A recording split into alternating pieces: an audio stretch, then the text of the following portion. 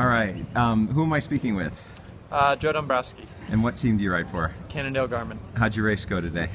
It was good. Uh, took the stage win and the yellow jersey, so that's, I mean, about as good as it could have gone. Uh, yeah, it was uh, feeling good on, on the last couple climbs there, and um, I knew we had a tailwind coming up the climb, so I, I went pretty early. Um, and I had help from my teammate Ben King, who was in the breakaway. Okay. And- was he riding with you uh, through through the lower part of Little Cottonwood?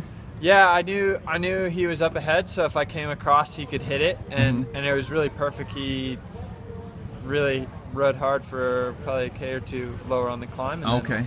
And, and, and got you slingshotted up uh, up the road. Yep. And and you had Robbie Squire with you for a little bit, and anyone else with you, or Uh, Frank Schleck followed for a bit, and I, I know Mike Woods was just behind. Mm-hmm. Um, so yeah, and and then because how did the tailwind uh, how how that influence the, the climb up Little Cottonwood? well, it means that you know then it doesn't matter so much if guys are on your wheel because you're not you don't have your nose in the wind. So if you're strong, then it's good because uh, it makes it hard for everyone. Yeah. And and what are, what are the goals for tomorrow? Uh, yeah, we'll we'll try and defend this jersey and try and win this race overall. Well, you're, you're looking pretty good on that. What are you about a minute and a half up now? I, I don't know. I haven't yet seen the classification, but Uh-huh. um, we'll see. Okay. And you have some other climbers on the team.